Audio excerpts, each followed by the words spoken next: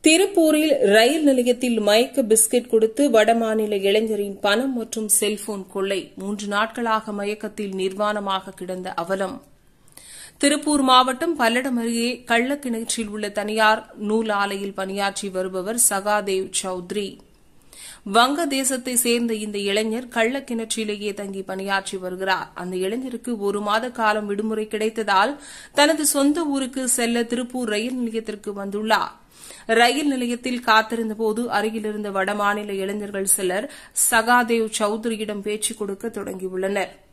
நாங்களும் அதே ஊருக்கு தான் செல்கிறோம் என பேச்சு கொடுத்த அந்த இளைஞர்கள் சகாதேவ் சௌத்ரிக்கு மயக்க மருந்து கலந்து பிஸ்கெட்டை வழங்கியுள்ளனர். ஒரே ஊர்க்காரர் என்ற எண்ணத்தில் சகாதேவி சௌத்ரியும் அந்த பிஸ்கெட்டை சாப்பிட்டுள்ளார். அடுத்த சில நிமிடங்களில் சகாதேவ் சௌத்ரி மயக்க நிலைக்கு சென்றதும் அவரிடம் இருந்த இருபத்தி மூன்றாயிரம் பணம் மற்றும் செல்போன்களை பறித்துக் கொண்டு அவரது பைகளையும் ஆடைகளையும் பிடுங்கிக் கொண்டு நிர்வாணமாக ரயில் நிலையம் அருகே வீசிச் சென்றுள்ளனர். மூன்று நாட்களாக மயக்க நிலையில் நிர்வாணமாக கிடந்த சகாதேவ் சௌத்ரியை நேற்று அங்கிருந்த பொதுமக்கள் மீட்டு பல்லடத்திற்கு அனுப்பி வைத்துள்ளனர்.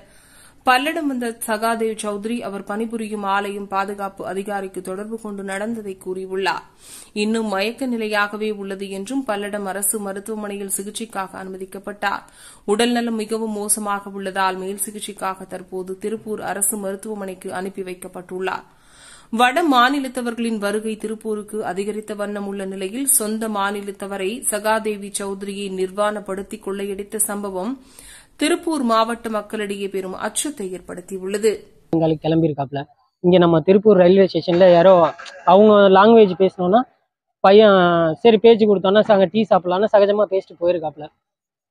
அங்கே போனோன்னா டீ குடிச்சோன்னா பிஸ்கெட் வாங்க போயிருக்காப்புல. ஏதோ வடை கிட்ட வாங்க போனோன்னா இல்லை என்கிட்ட இருக்கு சாப்பிட்லான்னு சொல்லிட்டு ஒரு பிஸ்கெட்டை கொடுத்துருக்கான்.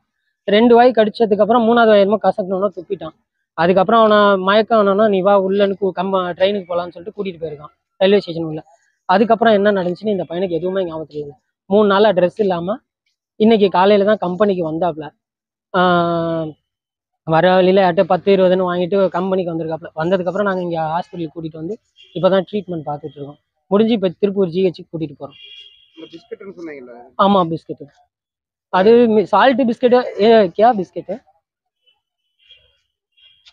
ஓ சால்ட் பிஸ்கெட்டு நார்மல் பிஸ்கெட் ஆ நார்மல் பிஸ்கெட் கொடுத்துருக்காப்புல அந்த பிஸ்கட்ல என்ன இருந்ததுன்னு தெரியாது. தெரியாது சும்மா பேசினா சகஜமா டீ குடிச்சா நம்ம ஒரே ஊருக்காரங்க ஒரு லாங்குவேஜ் பேசுறோம் அப்படின்ற ட்ரெஸ் இல்லாம அலைஞ்சு அங்கேயே படுத்து கிடந்திருப்பான் போல இருக்கு. எல்லாத்தையும் ட்ரெஸ்ஸு ஃபோனு பேகு பைசா எல்லாத்தையும் க எடுத்துட்டு விட்டுட்டாங்க.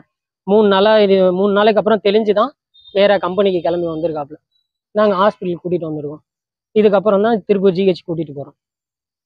ஸ்டேஷன்ல கம்ப்ளைண்ட் கொடுத்துட்டீங்க கொடுத்தாச்சு கம்ப்ளைண்ட் கொடுத்தாச்சு.